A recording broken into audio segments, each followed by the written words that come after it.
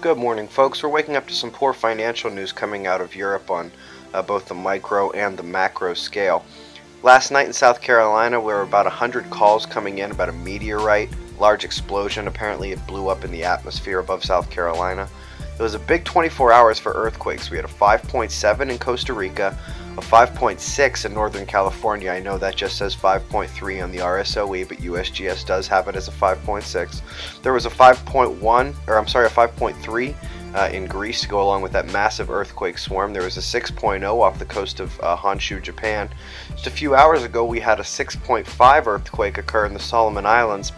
And just a few minutes ago, as of the time I'm making this video, we had a 5.1 in Baja, Mexico.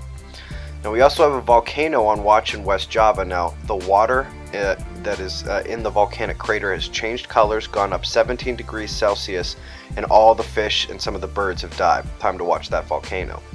Solar wind speed is the yellow part right there. We've been going up and down and really been getting torqued with uh, coronal hole stream after coronal hole stream. You can see here the horizontal disturbances. Here are the uh, temporal variations, the, the resonance that it's causing uh, within the Earth. But it's not just the magnetic field. You can see we don't have a nice straight curve here on the total electron content. Our ionosphere is being somewhat of, uh, affected. You can see here on the ACE LE protons, uh, we did have a little spike. Uh, not a spike here on the ACE LE electrons, but a just general uh, gradual rise.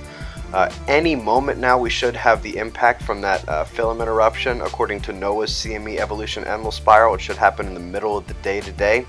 other than that, we do have more coronal holes coming. Uh, we do have that impact from the filament eruption we're waiting for today.